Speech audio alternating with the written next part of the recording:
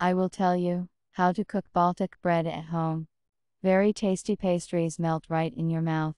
I've never thought that without a bread maker, you can cook such a lush bread. Try it. 1.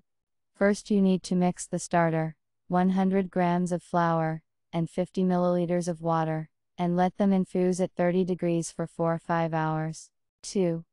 Then add the rest of the water, flour, as well as salt and cumin directly into this brew. Mix and cover with a film. Let the dough stand for another 2 hours at room temperature, or for an hour at a temperature of 30 degrees. 3. This is about how the dough should look like.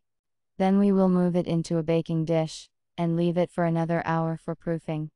Preheat the oven to 250 degrees, put bread in it for 15 minutes, and after 15 minutes, reduce the temperature to 170 degrees. Keep it for another 45 minutes. 4. And here is the ready made bread, lush and delicious. Wait until it cools down, then slice and serve.